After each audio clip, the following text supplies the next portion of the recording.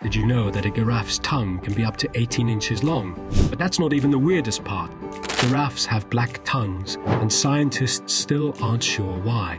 Some researchers think that the dark coloration helps protect their tongues from sunburn, while others believe that it may be a form of camouflage that helps them avoid predators. But here's where it gets really weird. Despite their long tongues, giraffes don't actually use them to drink water. Instead, they use their powerful lips to create suction and draw water up into their mouths.